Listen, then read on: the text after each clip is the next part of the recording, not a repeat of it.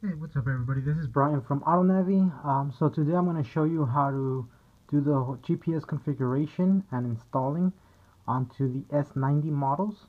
So this is if um, if the map stops working or we send you a, an updated map or you remove the SD card. This is how you would do you would um configure it and install it into the radio again. So I mean the first thing we would do is we would actually send you the map file and then you would have to download it. That's a separate video okay? Once you download it and put it on the SD card then all you gotta do is put it into the GPS slot here okay? Just like that. And I'll hit the Navi button and it's gonna show you this right here. Right here you would click this arrow click on iGo 8 double click and then you'll see iGo 8 .exe double click that and that's it. That's how you would um set it up. So now you can go home hit Navi again and the navigation will actually start now okay? Now you just gotta wait for it to load and then actually do the configuration.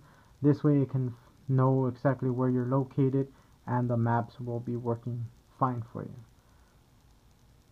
Okay so just waiting for that Alright, so now here, all you got to do is go to settings, then click the right arrow right here, okay, and then click GPS,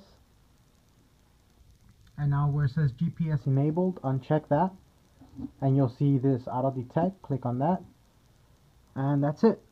So right here, it's actually going to detect the port and the baud rate. Once it does this, it will say it has been detected successfully and that's pretty much it. Now hit OK. You can go back and go into map and it would actually show your map there. I don't actually have a GPS antenna connected to it but that's it.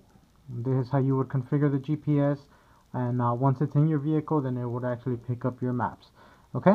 So hopefully you found that video helpful. Um, once again I'm Brian from OttoNavi thank you for watching and don't forget to subscribe to see other videos on our units and all of that.